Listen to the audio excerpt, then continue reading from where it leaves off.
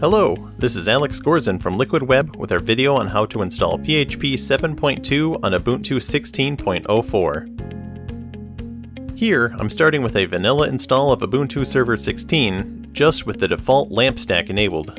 Make sure your user has sudo permissions, or you just use the root user itself. First, let's check to see what version the existing PHP install is. Type php-v, and it comes with PHP 7.0 by default. If it shows command PHP not found, then you don't have any version installed. If you have a live server that you host sites or applications from, now would be a good time to make a backup of any existing settings before starting the upgrade. In case there are issues, then this would make downgrading easier. So check your current configuration directory by running php-ini.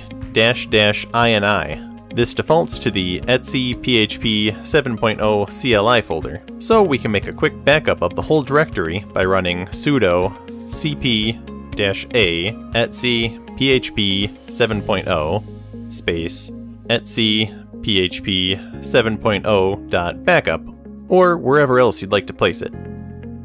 And to save a quick list of the existing modules, run php-m greater than temp 7.0.modulelist.txt. I'll show a command later to help you compare these previous modules with the new ones. So, to actually install PHP 7.2, you have to add a new repository. The official release is from Ondřej Surý on Launchpad. To add it to your system, run the command sudo add apt repository ppa colon ondrej slash php. Press enter when it prompts you to, and after that finished, run sudo apt-get update to have your system download a list of available programs it can install. After that finishes, we can proceed with the install by running sudo apt-get install php 7.2. You can review what it installs and how much space it uses, and then type capital Y to proceed.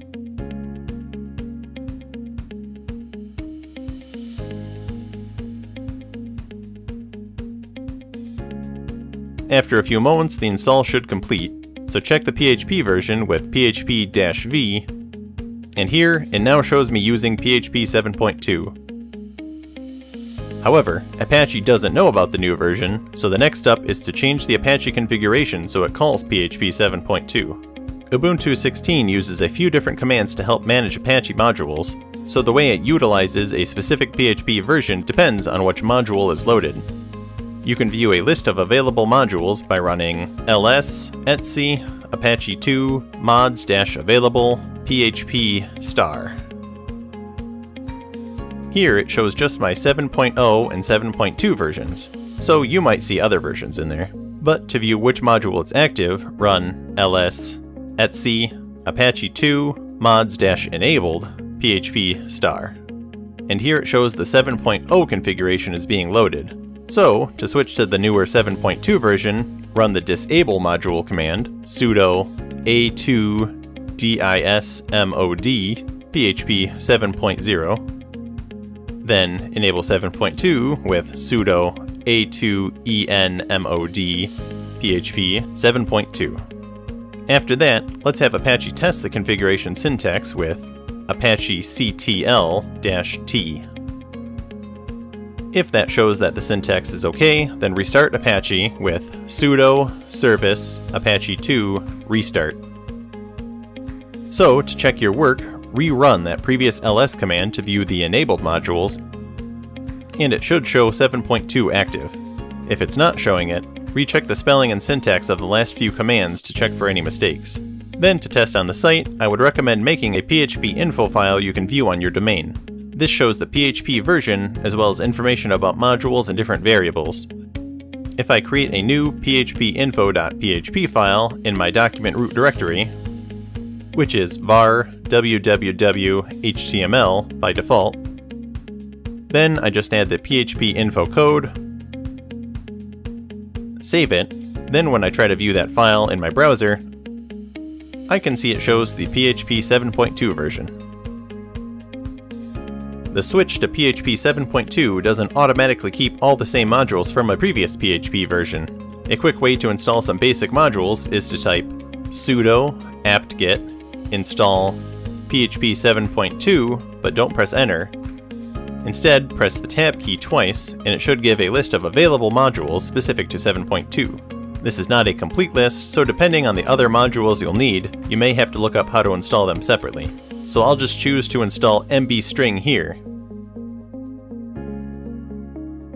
So if you did save a list of modules from the previous PHP version with the command I mentioned before, you can save another list with the 7.2 modules, like php-m greater than temp 7.2.modulelist.txt, then compare the files.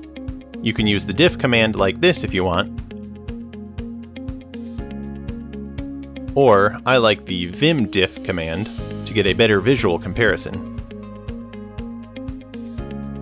On the left is the 7.0 modules, and on the right is the 7.2. So for me, I'm missing the MySQL modules and SOAP, while I gained the Sodium, which is new to 7.2, so I couldn't have had it before. To exit vimdiff, press the escape key, then colon q exclamation point, and then type it again to exit the second instance as well.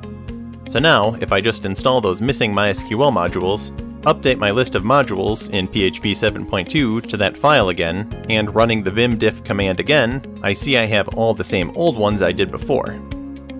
I'm now ready to go build my site. So there was a quick guide for installing PHP 7.2 on Ubuntu 16. Hopefully that helped. If you were a friend or in the market for a web host, feel free to talk to a Liquid Web Tech by phone or in a chat 24 hours a day. Thank you for watching.